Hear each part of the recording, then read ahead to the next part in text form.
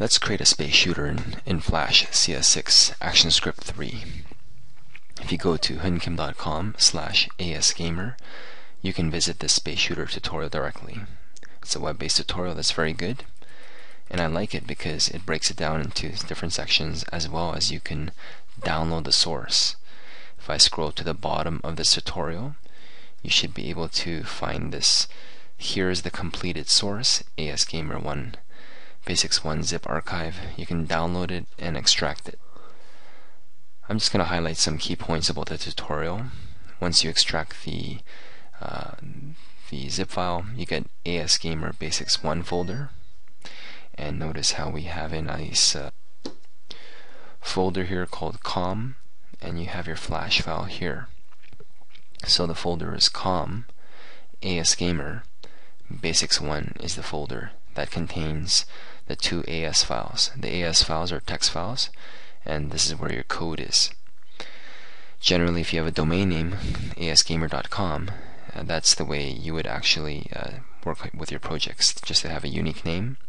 Basics 1 is the name of your game, ASGamer, ASGamer, and then COM. So it's like reverse order. COM, ASGamer, Basics 1. That's how you would organize your actual uh, class files, which are the AS files, and we have engine and ship.as.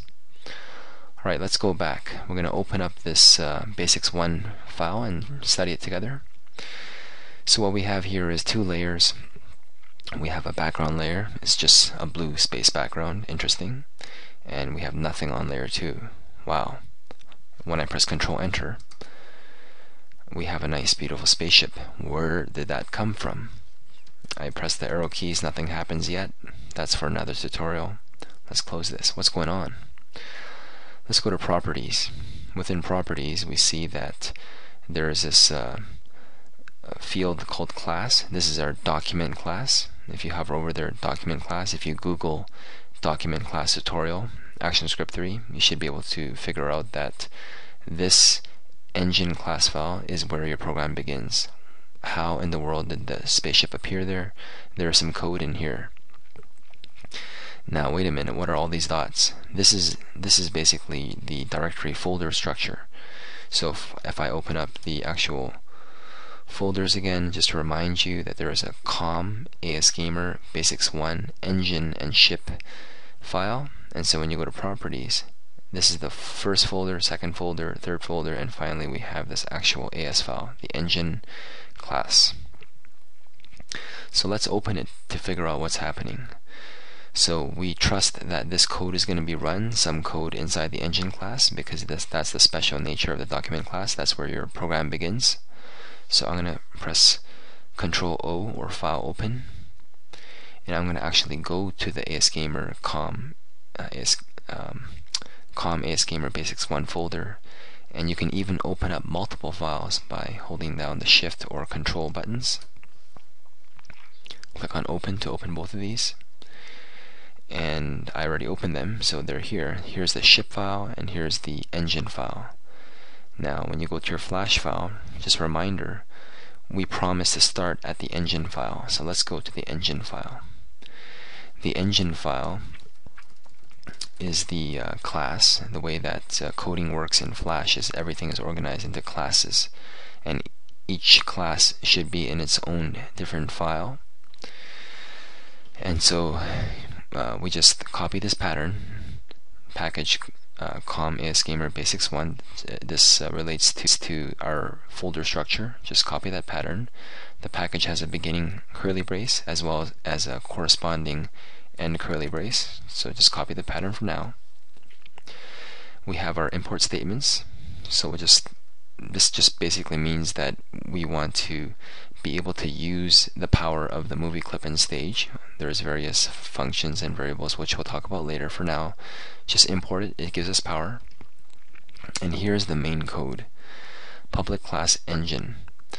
So this engine class, which is uh, extends movie clip, and we'll talk about uh, all this object oriented stuff later. Let's just try to understand the the main the main highlights right now. The engine code. This engine class uh, has this thing called a constructor. The constructor has the same name as the as the class, and this is called engine. So we have a function called engine. This is where your code begins in the constructor. Wherever the uh, you, you see the same name as a class name, that's where uh, your constructor is. So what's going on in this constructor? We have a variable called our ship, and this is an arbitrary variable. You can call it whatever you wish, and it's of type ship. Okay, equals new ship. Alright, so what's happening is whenever you see in many programming languages the word new, it means that you're actually creating a real ship. So the computer is, is using some memory to actually uh, create a real ship so that you can use all its functions and, and variables. So we actually create a new ship. Now what is a ship? We haven't even defined what it is. So the new when you whenever you use the word new, it actually calls the constructor of the ship class. So there's another class there called ship, which, we opened here. Okay, so we have this variable called our ship. We somehow create a ship, uh, and uh, uh, what are we doing with the ship? Stage.addChild is a function that actually draws the uh, the movie clip and the our ship uh, instance uh, onto the uh, stage. So this actually draws your ship onto the stage. Our ship.x equals stage.stage width divided by 2. So basically stage.stage width is in blue. It means that it's a special variable that's built into Flash. So it automatically calculates how wide your your screen is, your stages. Our ship.y equals stage.stage height divided by 2 so basically your ship is centered in the middle halfway across the width and halfway uh, through the height. Okay so what's going on here with ship let's take a look at that. Let's go to the ship class. We copy the same pattern with the package and what we have here is you have a ship and right now the constructor does nothing so no code is run whatsoever when the ship is created. Okay so here just uh, we'll, we'll practice this idea more but the word new actually creates the object. You're actually creating a real physical object as opposed to classes. Uh, classes are simply definitions. They're like templates. So this is this is just like we're defining we're we're, we're the architect of what it's going to be. Whereas when you use the word new you're actually creating a ship. And we actually created a ship therefore we could actually set its x and y positions. Okay so let's uh, figure out what's going on here. Let's go back to the actual um, flash file. And I'm going to go to the uh, uh, library. And in the library notice how we actually have that ship movie clip now uh, we actually uh, realize this is a movie clip so you can technically drag ships onto your stage but then we would have the problem of having to name things with instance names but we have no instance names uh, previous video I talked about how it would not be feasible to always have to name things all the time, especially when you have many many different objects. So therefore we're practicing using code code more.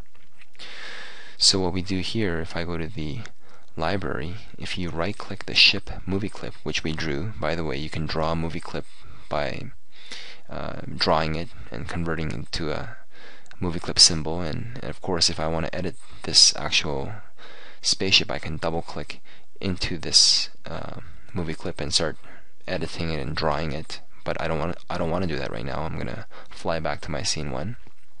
I just want to understand this uh, this code here so I'm gonna go to library I'm gonna right click ship go to properties and notice how um, the, the uh, this actual this movie clip is connected to the code on my ship class. So how do you connect a movie clip to your actual class? You connect it by right-clicking, going, going to the properties, and telling uh, telling Flash that hey, the class that's associated with this movie clip is is here, com ASGamer Basics One ship. So uh, the reason why we have to add all these dots before is because uh, the ship class is buried deep in a couple of folders. So that's how you connect it. Alright, so we mulled over everything in this project. Let's move on to part two. So just go to hunkim.com slash asgamer and then click on the second tutorial and uh, hope you enjoy these videos.